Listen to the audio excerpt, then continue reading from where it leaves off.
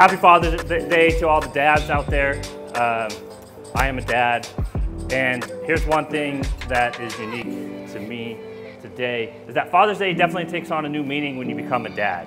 I mean, when we were younger, uh, you know, we would make a card or out a card, hand it to our dad, you know, thanks for being my dad, and here's a tie. You wear ties, right?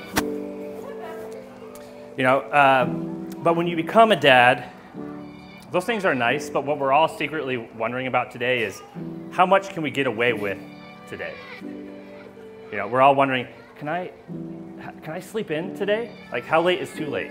Can I play nine holes of golf or 18? Right? How, much, how big of a meat thing can I barbecue today and not share it with family? Or do I even need to put real pants on today? Yeah. But that's all fun. But I'm going to let you in on a little secret about Father's Day. Being a dad is hard. And I will pause and let all the women roll their eyes for a second. Um, and I was true that moms do take to this parenting things more naturally. Um, I'm not saying that dads don't know how to do it. Uh, we just do it differently than women. And, you know, honestly, it's not worth the argument or the fight. But all joking aside, it is hard being a dad. It's not because we are exhausted raising our kids, running around with them, but it's because we are exhausted by how often we beat ourselves up. Now, hear me through on this. Because we can beat ourselves up on a lot of things, but a big chunk of that worry can be about how we are at being a dad. We never talk about it, but deep down, we do scrutinize ourselves about all the missed opportunities we've had with our kids. We know in our hearts we should have handled a certain situation a, a, little differently. Or, why am I yelling at my kids right now? I'm the one that had a bad day at work, and now I'm taking it out on the kids and their mom. You know, I haven't been a dad for very long, but it is safe to say that dads are extremely hard on themselves. For example, about a month ago, we were meeting about what we're going to do for Father's Day here at Kingship. The plan was, it was just brought out in the beginning of the meeting. Here's what we're going to do. We're going to have a, a garage sale auction, right? That's awesome. It went well. It went great. We're going to have a keynote speaker. Awesome. I immediately posed the question, who do you have in mind for a keynote speaker? And I knew right away by the side-eye glance by a man that will remain nameless that it was me. You know, I accepted graciously, as everyone probably would, but on the inside, I could already hear my inner critic revving up. Me, a keynote speaker on Father's Day, but I'm not a good dad. I have failed lots of times already. I mean, my kids are young. I don't have any experience. I don't have what it takes to do this, and you know, I do have notes of my young fatherhood things, but are they really key for others? So, of course, I started thinking about this constantly. Uh, I was trying to figure out something I could talk with some level of confidence up here about being a dad. But all I could think about was the fear, the fear of speaking in front of a bunch of people, and the fear of being found out that I don't have this dad thing figured out, and I'm just a phony. And then it hit me. If all I can think about is fear, then why not talk about it? Why, sh- why should I, I should talk about the real fears that I have about being a dad and share them with you all. If I'm anxious about my fathering, then others have got to be anxious as well. So that's where I did. I just jumped in there. I dove into my fears. I read articles of other dads sharing their fears. I even talked to friends about their fears and being a dad. And I was reminded, a quote kept playing over and over in my head, but we're going to get to that shortly.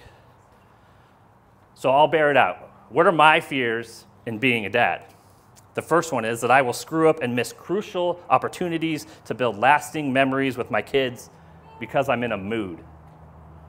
The second is that I will say or do something that will inevitably scar my kids so deeply and it will cause them to go down a path of destruction. And the third that my fathering will taint how my kids see God the Father. Pretty heavy stuff, right? But remember, being a dad is hard. Now, it's definitely been interesting uncovering some of these fears that stir inside of me. But one of the greatest discoveries through it all was realizing that I'm not alone.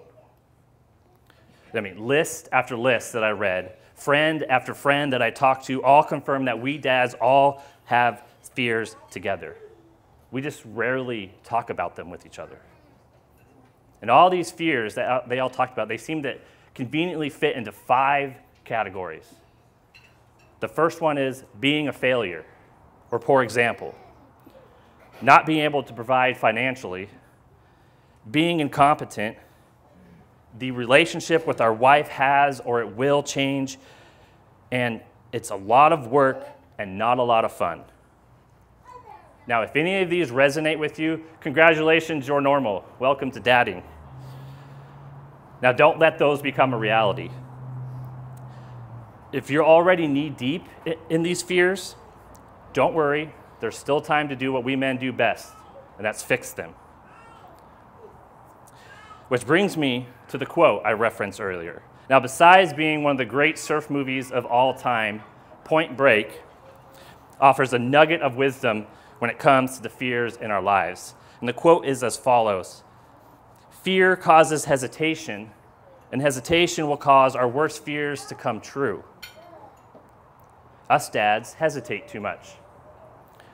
We don't do it all the times, and sometimes it is good to hesitate. Like when you come up to a stop sign we should hesitate at a stop sign to make sure we're not going to get clobbered by the cross traffic coming across.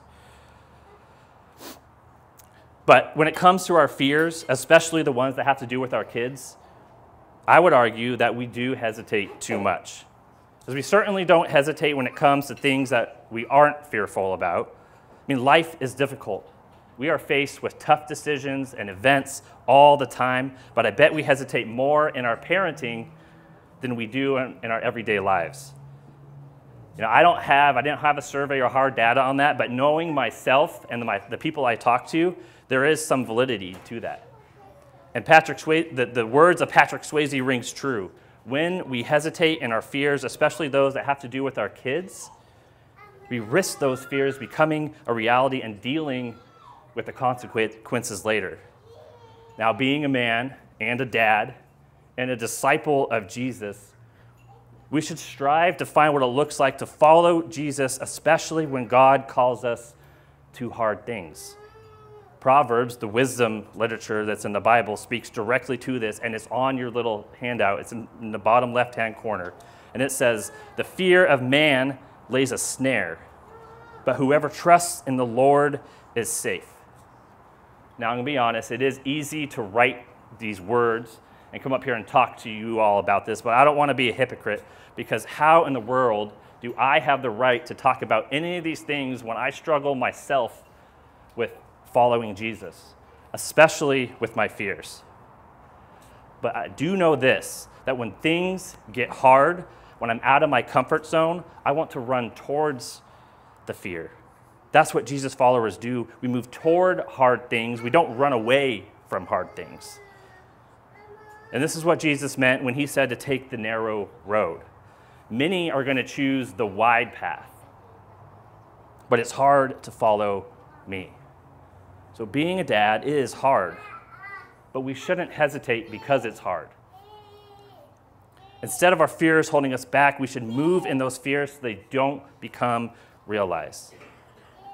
Not hesitating means we need to act when we want to take a back seat and pretend it's not a big issue.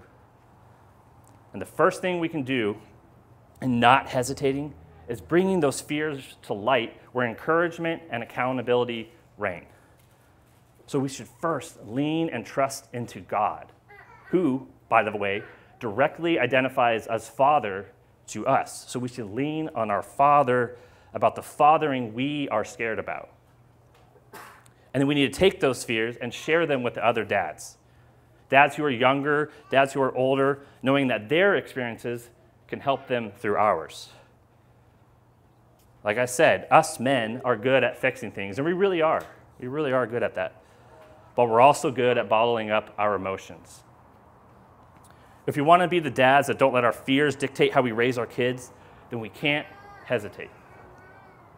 If we want to be the dad we know we can be, or the dad we want our kids to be one day, then we need to personally and intentionally step into the hardship of raising kids. If we don't want to be a failure or a poor example to our kids, then don't hesitate when opportunities arise to be a hero in your kids' lives.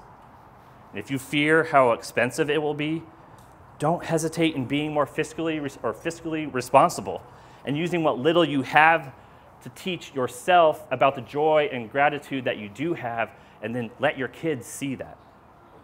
If you're feeling incompetent, don't hesitate to reach out for wisdom from the dads that went before you and build a skill base that you can grow and eventually pass on yourself. If you're feeling distant from your wife, don't hesitate to pursue her the same way you did when you didn't have kids. I mean, I get it. We're tired. But your wife is worth it. Are your kids sucking the fun out of you? Don't hesitate to get over yourself. Fun doesn't always have to be about you, and the fun and effort you create now, it only creates a rhythm and a bond that is unique to kids and their dads. If you need an example, watch the cartoon Bluey. There's a reason that show is the most popular for kids. We only get one shot at raising our kids, and we shouldn't hesitate to instill the values we so desperately want our kids to have right? And it starts with both parents, dad and mom, not hesitating in our kids' lives. If we truly are followers of Jesus, then shouldn't we emulate his, his character? Now, pick any gospel and read it, and then tell me where Jesus hesitated. He didn't hesitate to talk to people, he didn't hesitate to pray, he didn't hesitate to feed people, he didn't hesitate to take time alone he didn't hesitate to stay with people he shouldn't stay with. He didn't hesitate to ask questions, to cry, to trust in God, and to heal the broken and the crippled. And he didn't even hesitate for us, for the sinners, for his death. Being a dad is hard. It is. But fears are normal, but they don't have to dictate how we dad. And here's the truth, men out there you can be the dad God is calling you to be. You can. But it's not going to be because you squash down your, your fears so no one could see them. It will be by the grace of God and the Spirit working in and through you, guiding you so you won't seek hesitation, but rather you'll seek fatherhood. Now, I had to put this into practice myself uh, a couple weeks ago. We had to put our dog down a couple weeks ago. And it was really hard for the family. It was hard for me. And I could tell my oldest son was really affected by it. He just wasn't himself in the days after. He missed his dog. And so I put this into practice. Instead of taking a back seat and doing what I'm doing, I'm going to get over it, right? The same, he can get over the same way I'm doing it. It'll, by, when days pass, it'll get easier and easier. But I saw him down and I just, I, I looked at him, I got down eye level and I said, Are you okay? And he said, No, I miss my dog. I'm really sad. And I said, You know what, buddy? I am too. And it's really hard. But guess what? It's, it, it's going to be hard together. We're going to do this together. You know, I'm not an expert when it comes to not hesitating in your lives. I'm still trying to do it myself.